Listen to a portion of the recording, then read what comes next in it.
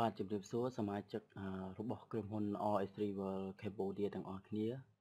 ថ្ងៃនេះខ្ញុំបង្រៀនបងប្អូន អំពីរបៀបចុះឈ្មោះសមាជិកថ្មីហើយនិងរបៀប activate stock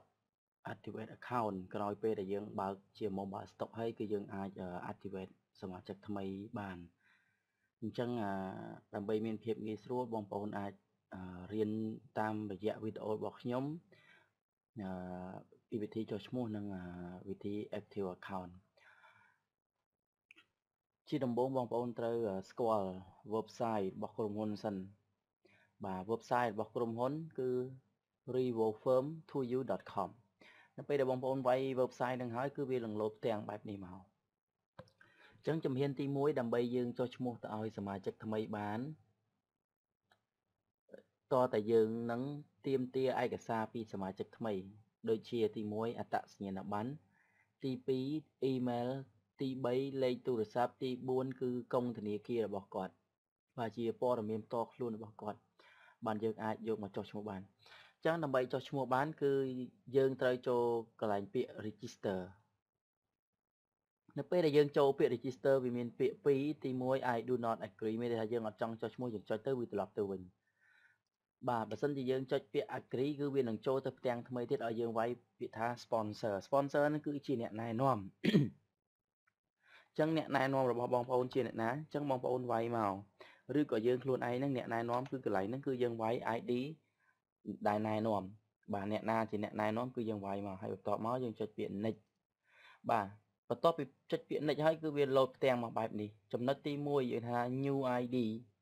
new login ID អញ្ចឹងមានថាជា ID សម្រាប់សមាជិកថ្មីគាត់ធ្វើការចូលទៅក្នុង account របស់គាត់អញ្ចឹងគាត់ចង់ដាក់ ID អីគឺជារឿងរបស់គាត់អញ្ចឹងខ្ញុំឧទាហរណ៍ថាខ្ញុំដាក់ RS3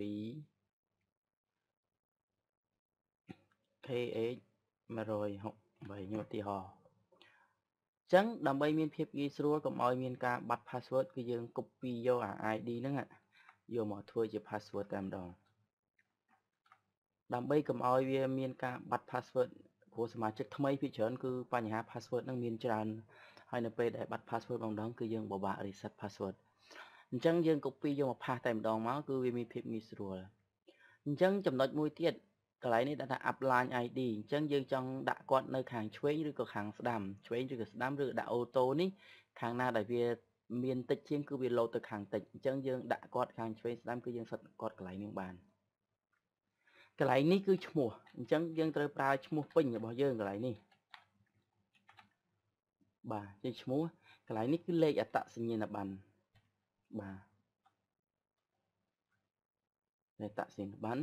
បាទកន្លែងនេះគឺជាភេទកន្លែងនេះគឺជាថ្ងៃខែឆ្នាំកំណើតបាទយើងវាយតាមអត្តសញ្ញាណប័ណ្ណអញ្ចឹងមកបាទ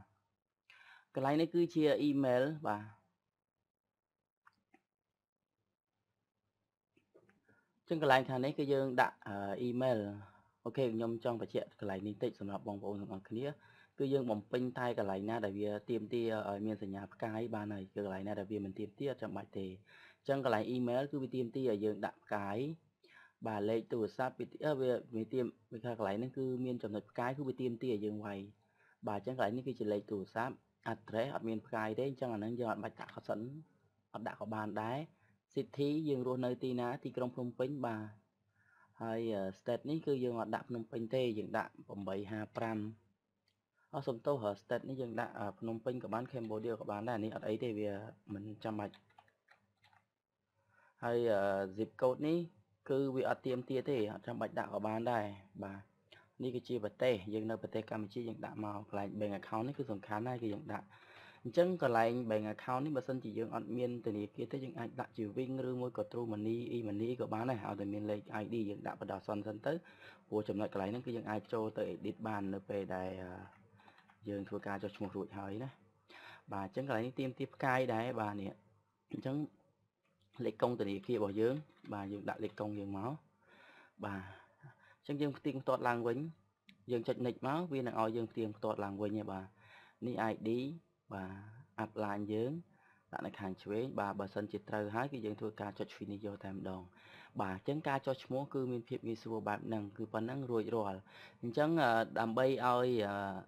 mobile stock មានន័យថាអ្នកដែលគេបើកជា mobile stock ធ្វើការ activate ឲ្យយើងបាន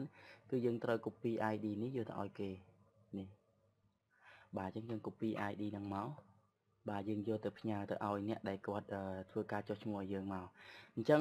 បន្ទាប់នេះគឺសម្រាប់អ្នកដែលមានជា mobile stock ហើយយើងចង់ activate ដល់ account គេហ្នឹងតើយើងគួរធ្វើយ៉ាងណាអញ្ចឹងគឺយើងត្រូវចូលនៅក្នុង ID របស់យើងមកដំបូងដំបូងឡើយគឺយើងត្រូវចូលក្នុង account របស់យើងបាទ white password និងលេខកូដនេះអញ្ចឹងទាំងសមាជិកធម្មតាទាំង mobile stock គឺចូលមកកន្លែងហ្នឹងដូចគ្នាទាំងអស់បាទ បាទនេះគឺជា account mobile stock គឺវាគ្រាន់តែមានប្លែកត្រង់ថាទី1មានពី order ហើយនិងពាក្យ stock អញ្ចឹងដើម្បីឲ្យយើង activate ឲ្យគេបានលុះត្រាតែយើងមាន T wallet បាទអញ្ចឹងនៅពេលយើងមាន T wallet យើងអាចធ្វើការ activate ឲ្យគេបានអញ្ចឹងដើម្បី activate យើងចូលទៅលើពាក្យ order បាទតបយើងលើកន្លែងនេះគឺមាន2ទី1គឺ active activate ហើយនឹង upgrade ហើយនឹងពាក្យ maintain អញ្ចឹង maintain នេះសម្រាប់អ្នកដែលទិញ2បោះ2បោក80ហ្នឹងបាទយើង maintenance ហ្នឹងគឺយើងកន្លែងនេះអញ្ចឹងសម្រាប់យើង active គឺយើងចុចឲ្យលើនេះណាបាទកន្លែងនេះគឺជា ID ដែលយើងបានចុះអំបញ្ញមិញហ្នឹងបាទយើងយើងផ្ញើឲ្យគេទៅអញ្ចឹងសម្រាប់អ្នកដែលគេជា mobile stock ហ្នឹងគឺគេចេះធ្វើហើយ បាទអញ្ចឹងនៅពេលដែលយើងចុច next ទៅគឺវាលោតផ្ទាំងថ្មីមកអញ្ចឹងបញ្ជាក់ថានៅក្នុងក្រុមហ៊ុន OIC យើងគឺយើងមានកញ្ចប់3មាន Emerald Gold ហើយនិង Diamond អញ្ចឹងបើសិនជាគេដាក់ Emerald គឺយើងគ្រាន់តែ tick Emerald កន្លែងនេះគឺជាការស្រេចអត់មានប្របាកទេហើយធ្វើការចុច next next ហើយចុចពាក្យ finish គឺ account ហ្នឹងបានចុះរួចរាល់បាទអញ្ចឹងសម្រាប់អ្នកដែលជា mobile stock ហើយអ្នកដែលថ្មីមិនទាន់ចេះចុះឈ្មោះគឺអាចរៀនតាមរយៈវីដេអូរបស់ខ្ញុំបាញ់មិញហ្នឹង បាទមើលតែម្ដងទៅគឺចប់ហើយគឺអត់ពិបាកទេក្នុងការចុះឈ្មោះអញ្ចឹងអរគុណច្រើនសម្រាប់ការតាមដានវីដេអូរបស់ខ្ញុំជួបគ្នានៅឱកាសក្រោយបាទសូមអរគុណសូមជម្រាបលា